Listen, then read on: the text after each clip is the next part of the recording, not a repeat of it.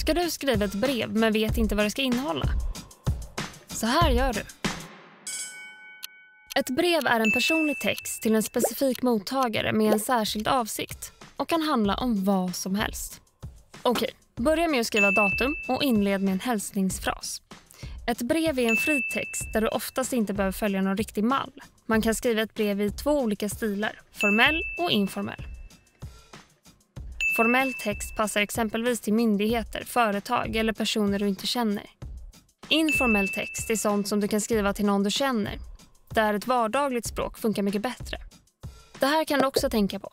Med frågor gör det lättare för mottagaren att svara på ditt brev. Tänk på att anpassa språket efter mottagaren, alltså den du skriver till. Och glöm inte att adressera vem brevet är till.